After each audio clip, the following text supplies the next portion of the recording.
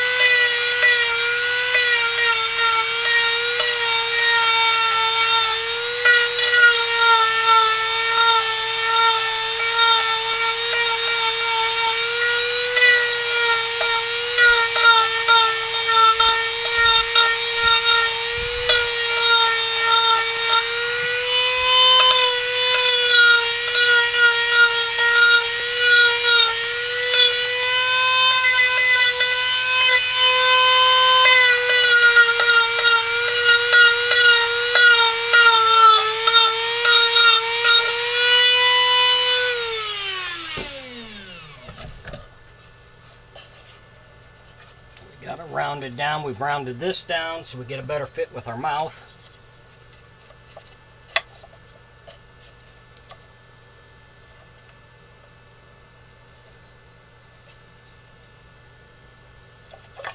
And now we'll go on to the next step. If you enjoy my videos, please like on my YouTube page and subscribe. I would appreciate it. Thank you.